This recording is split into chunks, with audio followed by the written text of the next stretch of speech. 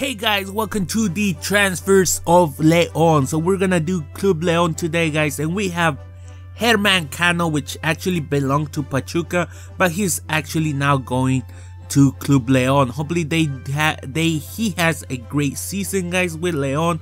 Now the Gullit went out because he does play as a center mid on on the pitch so that's probably gonna be his role.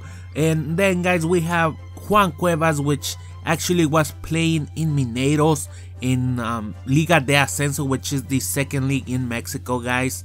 Uh, so it's he's a pretty good player, not a bad player. I think he could do uh, very good, but I kind of see him being like a, a, replacement or a sub for um for Boselli actually. So let's go into our next player, guys. That is Jorge Enriquez, El Chaton Enriquez, guys which he's actually belongs to Chivas. He's just going on a loan there.